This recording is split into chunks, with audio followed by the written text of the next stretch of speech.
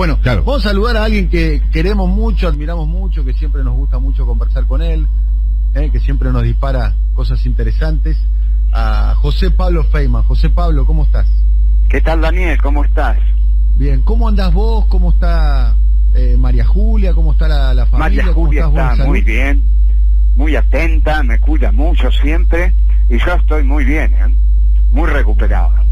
Bueno, me, alegra mucho escucharte, se te escucha muy bien. Bueno, eh, ¿cómo estás eh, analizando lo que está sucediendo en este periodo de la, de, la historia argentina, en este momento del gobierno de Alberto Fernández? Sí, es, hay distintas posiciones para tomar. no es que yo tomo una, pero es solamente la mía. Yo seguí algunos programas tuyos y vi algunos cuestionamientos, cuestionamientos muy duros tuyos, de Roberto Navarro, este, o sea que o se le pide más o se lo tolera basándose en, se lo puede tolerar basándonos en una concepción de lo que ha sido el, el peronismo en cuanto a la teoría de tragarse sapos. Y todo en su medida y armoniosamente, y para un argentino no hay nada mejor que otro argentino, y, preferimos el tiempo y no la sangre, todo eso se lo dijo Perón cuando volvió a la juventud peronista, la frenó de un modo eh, bastante brutal, ¿no? apoyándose bastante también en el ala derecha del movimiento. Así que eh, yo viví esa etapa y fue fue tremendo para nosotros, fue tremendo porque, bueno, eh, esperábamos realmente otra cosa y Perón le había dado alas a la JP, le había dado la actualización doctrinaria, el socialismo nacional, el trasvasamiento generacional, y todo eso lo tiró por la borda en el discurso del 21 de junio, al día siguiente de Seiza, dijo, no hay nuevas banderas que califiquen a nuestro movimiento, somos lo que las 20 verdades dicen. Y ahí los pobres muchachos de la JP empezaron a averiguar qué eran las 20 verdades, porque ni idea tenían de qué eran las 20 verdades. O sea que eh, he visto una época anterior, y, justamente la de Perón, de eh, tragarse sapos y tenerle paciencia a, a un gobierno que afrontaba dificultades te digo, menos, menos que el gobierno de Alberto. El gobierno de Alberto Fernández enfrenta todo tipo de dificultades, ¿no? Desde una oposición salvaje, furibunda y guerrera, hasta la maldita pandemia, que eh, también desalienta mucho y que se, se ha incurrido en en muy grandes este, errores de la flexibilización de la cuarentena y la gente eh, ha salido y ha salido a manifestar y a cacerolear y bueno, y hay una gran cantidad de contagios.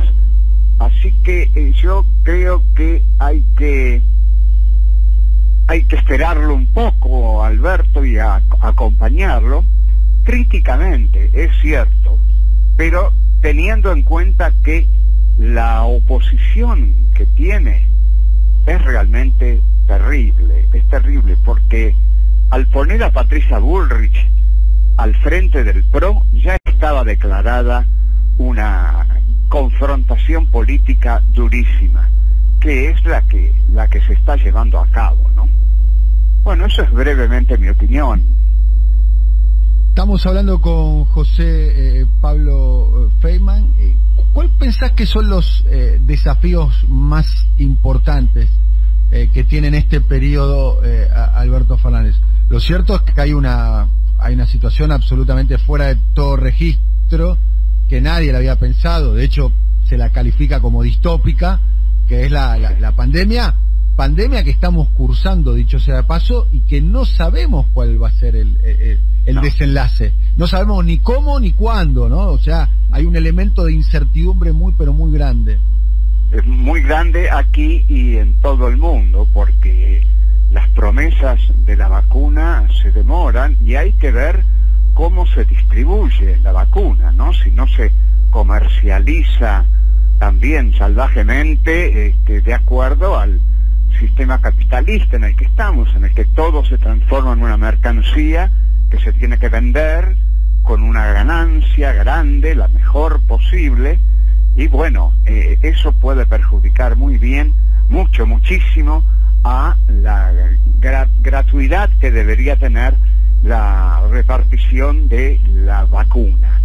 En cuanto a lo político, bueno, hubo una, hay un intento de reformar la justicia que me parece muy bien y que ya Juntos por el Cambio, vos viste, antes de leer el decreto, declaró que estaba en contra y va a costar mucho imponerlo en diputados.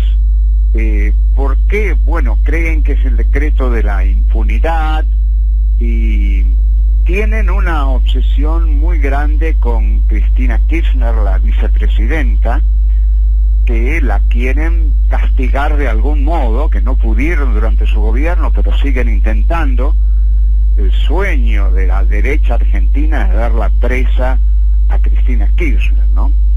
Que es, es, es un sueño bastante limitado, porque no sé en qué va a beneficiar al país cuando la justicia va aquí por otro lado. Son muy tremendas las cosas que ha hecho el gobierno de Macri en cuanto a peajes, eh, espionaje, eh, periodismo de guerra y algo muy tremendo que a mí me preocupa mucho y que es la situación de Milagro Sala en Jujuy, que es una tremenda injusticia ante una luchadora social que, bueno, eligió la justicia social y no las armas así que no hay motivo para tenerla encerrada tanto tiempo y algo pasa o no pasa que el gobierno no consigue destrabar esa situación, ¿no? Así que esos serían los problemas, tendríamos problemas en, en la justicia, tenemos problemas en la Cámara de Diputados, tenemos problemas con los presos políticos que dejó el macrismo y con la economía, por supuesto, porque este, la pandemia deteriora tremendamente la economía, el nivel de vida, las esperanzas de conseguir trabajo, va a aumentar la pobreza. En Estados Unidos los desocupados son más de 50 millones, creo, lo cual es una atrocidad. El, gran imperio no ha podido manejar esta situación. Eh, deberíamos comprender que menos la puede manejar el, el el, débil, débil gobierno de Alberto, porque eh, ganó, es cierto, con, con ocho puntos, pero debía haber ganado por mucho más. Macri en el último tiempo recuperó, recuperó muchos, muchos votos, más de dos millones. Una, una locura que no tendría que haber ocurrido, pero bueno, hizo una campaña intensa, eh, Macri, y tiene de su lado al poder mediático, que el poder mediático coloniza la subjetividad de los receptores. Y en los bares, ahora no hay muchos bares, pero siempre estuvo puesto algún canal del establishment y, eso es lo que ve la gente y los diarios que recibe, que son los diarios que llamamos hegemónicos y, y la respuesta a esos diarios es débil porque es la respuesta independiente, eh, incluso heroica, pero también este, débil ante ese enorme poder mediático, monopólico, oligopólico. A, propósito de, lo, de, lo, último que estás describiendo eh, de los medios de comunicación, ayer se dio una imagen, no sé si lo seguiste cerca, va a ser un tema que vamos a estar tratando en nuestro programa eh, en los próximos minutos, que fue la comparecencia frente al Senado de los Estados Unidos de los que se llaman las eh, GAFA, eh, las, las empresas más importantes eh, tecnológicas. Estamos hablando de Google, de Apple, de, Facebook y de Amazon. Y, y, lo más interesante de todo es que se les cuestionaba a estas empresas, que son empresas de escala mundial, se les cuestionaba en los Estados Unidos su posición monopólica. Y, y pareciera ser que, bueno, en Estados Unidos, el país del libre mercado, de la libertad, el país del modelo capitalista, que supuestamente muchos este, lo ponen como ejemplo, eh, están en contra de los monopolios de grandes empresas. La imagen, no sé si la viste la imagen, ¿no? Eh, la sí, bueno, pero aquí tenemos, Daniel, tenemos algo peor, tenemos una monopolización de, de eso que se llama el significante campo, es dramático, porque no quieren ceder ni un paso y habría que poner las retenciones, pero no se puede. Enseguida salen con los tractores a las rutas e incluso vos habrás visto ese video de un anónimo que recomendaba bajar a balazos a los que fueran a erosionar a, los, los, hilos de, de soja. Están un poco, esta gente está un poco sacada, ¿no? Está un poco digamos, en una actitud ya destituyente, destituyente directamente, como el empresariado argentino y la sociedad rural, que siguen siendo este, muy antagónicos al gobierno y honestamente no sé qué están esperando, porque no sé cuál puede ser el reemplazo de este gobierno. Porque si lo quieren a Macri de nuevo, eso es un desastre que ni ellos pueden querer. Y después, bueno, tendrán algún candidato, pero no lo veo, no lo veo, no veo, no sé, únicamente que arreglen con Massa o, arreglen con Pichetto, que es un salvaje opositor, pero es difícil ver el reemplazo de este gobierno que no hace todo lo que habría que hacer, pero hace bastantes cosas, bastantes cosas incluso a Eve de Bonafini otro gobierno no le hubiera respondido directamente como le respondió Alberto. Alberto responde las críticas, le respondió a Víctor Hugo, en fin, este, es otra clase de, presidente. Así que, Un poco este, subyacente a, lo que vos decís es eh, hay que cuidar al gobierno, hay que evitar criticarlo, porque si no viene la derecha o vuelve el Macri. Bueno, no, no lo digo tan así, Daniel. Hay que criticar ah. a los gobiernos, en efecto. Mm. Yo comprendo que uno, aunque adhiera al gobierno, no puede dejar de criticarlo porque una adhesión incondicional eh, eh, es perjudicial para el mismo gobierno. Tenemos que estar siempre atentos a la correlación de fuerzas, este, en qué medida podemos, sin perjudicarlo, seguir criticando al gobierno. Yo creo que sí, que hay que, criticarlo, pero hay que estar muy atentos sin que sea un chantaje esto de la derecha se viene si, si lo criticamos a Alberto. No, no se puede chantajear así. La derecha se va a venir del modo que sea, porque tiene muchos elementos para seguir atacando y en efecto lo hace cotidianamente, sobre todo a, partir de los 40,8% que sacó el macrismo y de los medios de comunicación. Ahora, este, no hay que justificar todo lo que hace el gobierno porque uno crea que si lo critica le hace el juego a la derecha. Bueno, creo que sería injusto verlo así, porque hay, hay, que, hay que criticar las cosas que, que no están mal. Pero no hay que pedir, pedir lo imposible, no es un, hay que calibrar muy exactamente. Si hay que dar dos pasos, hay que dar dos pasos. Es tan equivocado dar tres como dar uno. Eh, entonces hay que calibrar exactamente cómo se camina en esta etapa política. Bien, ¿cómo, por último, estamos hablando con José Pablo Feynman, a, propósito de este tema, que me, resulta muy, muy, interesante escucharte, tengo otra pregunta para hacerte sobre el final, sobre el tema pandemia, eh, pero ¿cómo, viviste el episodio Vicentín con sus idas y, vueltas? Eh, pareciera ser que Vicentín entró en una etapa de, de que se va a resolver solo y vaya a saber cómo, quizás con el desguace de la empresa, eh, quizás con la quiebra de la empresa, quizás con la empresa pasando a manos privadas nacionales. ¿Cómo viviste todo el capítulo Vicentín que todavía está...? A, a mí me, me alegró Vicentín, nunca estuve de acuerdo con que se utilizara la palabra expropiación, que irrita mucho a mucha gente porque, bueno, es una palabra digamos, de un socialismo revolucionario. Y acá no se puede aplicar en este momento un socialismo revolucionario porque tenés a toda la clase media que te sale a la calle este, y hasta dieron abrazos a, a Vicentín y apoyaron.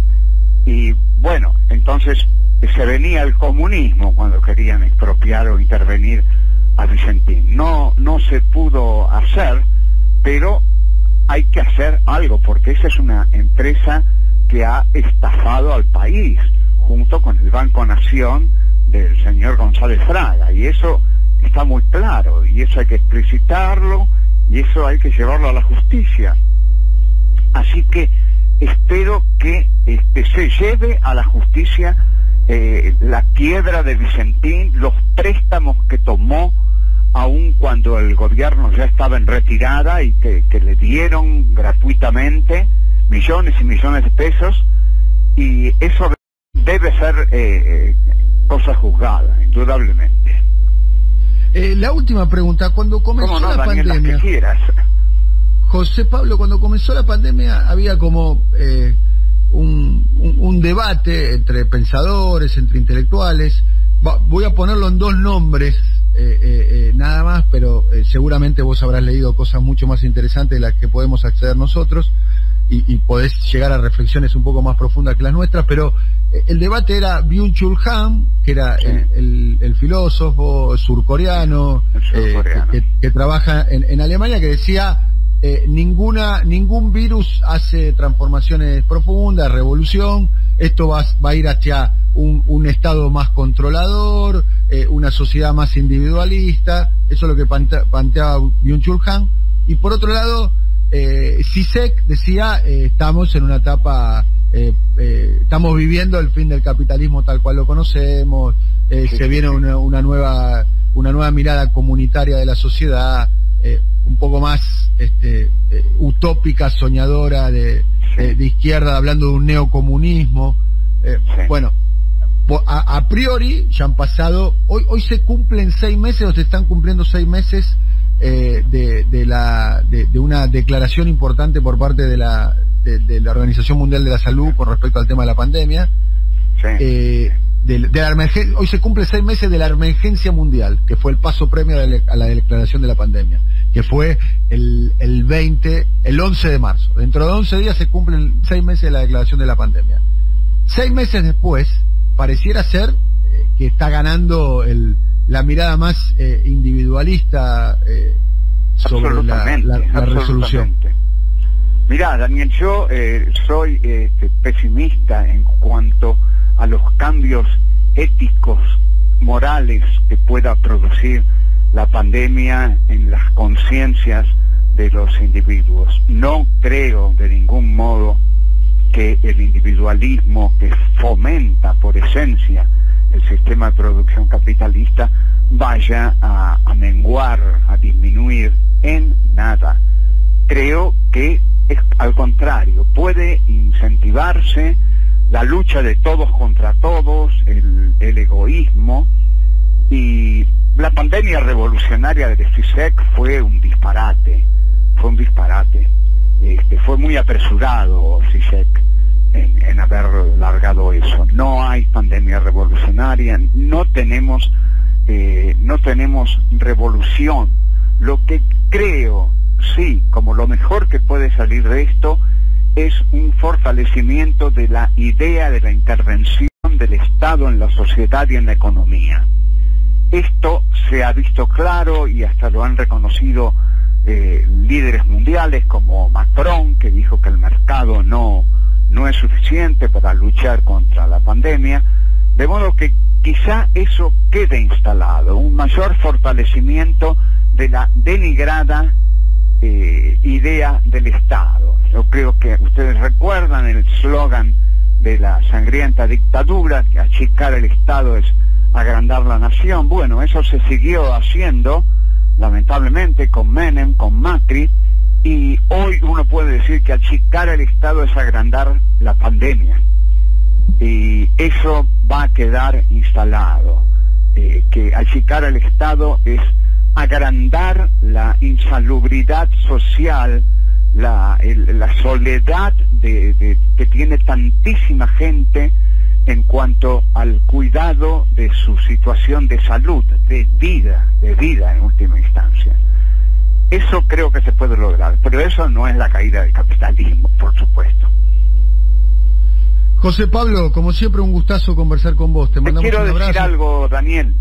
Este, Mira, este, estoy como no te, no puedo dar clases presenciales.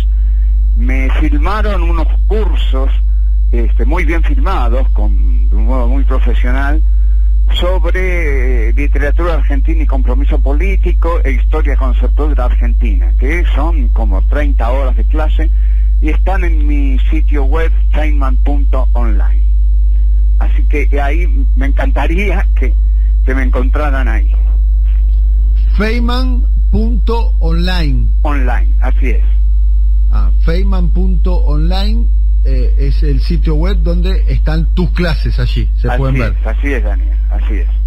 muy bien, bueno, eh, ya, ya mismo lo estamos compartiendo con nuestros oyentes. Siempre te escucho, ¿eh? Siempre te escucho. Bueno, ¿me escuchás eh, en vivo o escuchás a través de las reproducciones en YouTube que andan, dando vueltas? escucho en, en YouTube. Ah, bueno. ¿Y, ¿Y qué te parece? Ya te pregunto. Te pregunto al aire, ya que me lo decís al aire. Me, encanta. tomo, el, riesgo, tomo el riesgo de preguntarte al aire. Mira, eh, me encanta el programa. Algunas críticas me parecieron excesivas, te lo dije. Está muy bien. Este, pero también admito tu punto de vista que consiste en decir que el que no critica adula prácticamente y bueno, no hay que olvidar que Perón cayó porque en su primer gobierno decía que estaba rodeado de adulones y alcahuetes. Eso no hay que permitirlo. La conciencia crítica, y vos la tenés, eh, siempre hay que mantenerla. Sí, y, básicamente porque he pasado por una experiencia comunicacional de, eh, no criticar, y creo que eso, eh, eso creo que fue un error. Y, digo esta cosa, además, si, si querés en otro momento lo podemos profundizar, yo creo que no se debe confundir a los comunicadores, a los periodistas, a los comunicadores, a los animadores, con la comunicación pública. La comunicación pública va por un carril, creo, eh, y creo que está mal que los comunicadores razonen como funcionarios. Cuando pasó eso, el resultado, a mi modo de ver las cosas, y lo puedo decir en primera persona porque eh, fui de alguna manera, participé de ese ecosistema, en mi modo de ver las cosas, funcionó mal. Eh, eh, los, funcionarios tienen que pensar, razonar y hablar como funcionarios, y los comunicadores tienen que pensar, razonar, hablar como comunicadores. Y, bueno, pueden concluir o no. No es lo, no, sí, pero no es lo que está pasando. Yo puedo ser un comunicador de tanto en tanto hablando en tu programa, pero ya no tengo programas de radio ni, televisión y veo que los comunicadores del macrismo furibundo siguen haciendo una, un periodismo tremendamente belicoso. Y bueno, son, son ejemplos muy, muy conocidos, ¿no? Así que este, hay que hay que desnudar toda esa trama de, ese periodismo de guerra que efectivamente se hace y bueno, por eso eh, tienen que seguir programas como el tuyo, el de Navarro, el del gato, eh, que es eh, la defensa que tiene la democracia todavía, por supuesto. Muy bien. Te mandamos un abrazo, gracias. Bueno, un gran abrazo, Daniel, y gracias por todo. No, gracias a vos, saludos a, María Julia, eh, a tu querida mujer María Julia, un beso muy grande. Bueno, José Pablo Feynman conversando con nosotros, 15 minutos para las 11 de la mañana. Si ustedes se quieren comunicar con nosotros, tienen que mandar un mensaje al 11 56 57 eh, 9000. Si te parece, Eduardo, no sé, eh, vos que estás ahí.